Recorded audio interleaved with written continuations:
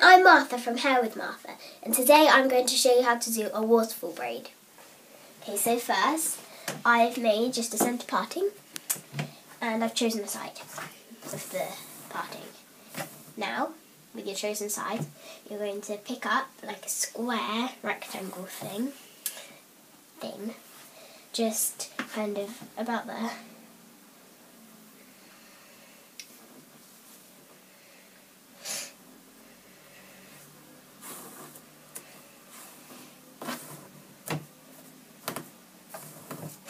Okay, now with this strand you're going to split it into three.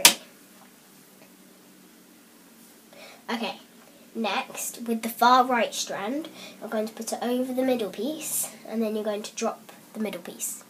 Okay, so you've put the right strand over the middle, then you've dropped the middle piece. So that should be your first like waterfall bit.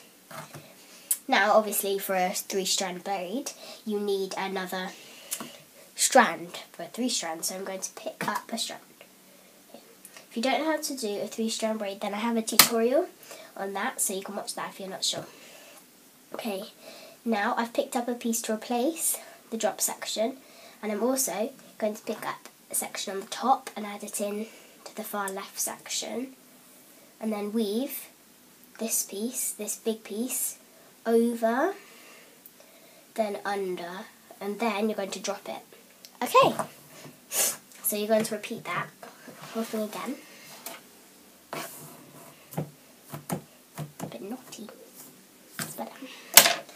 Okay, so pick up a strand to replace it. Add some hair into the top. Then weave the top strand over and under the strands.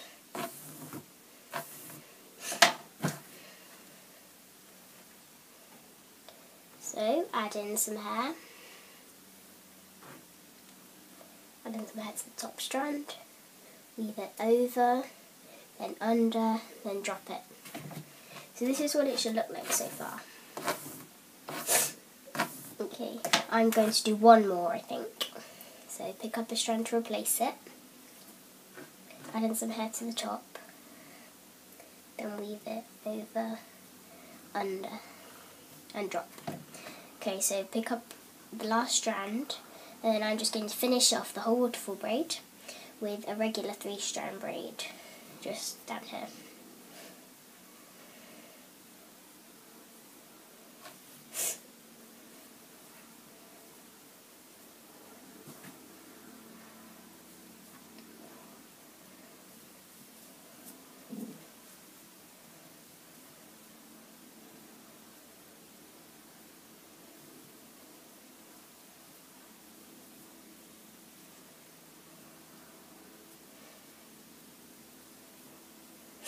Okay, so I'm going to stop here and secure it with an elastic.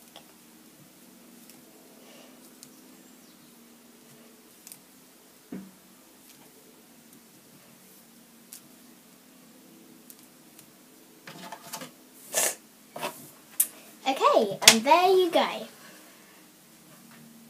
I hope you enjoyed this hairstyle. Don't forget to like and subscribe and I'll see you next week. Bye. Oh no! Yeah, y'all know what it is. Katy Perry, Juicy J. Uh huh. Let's rage.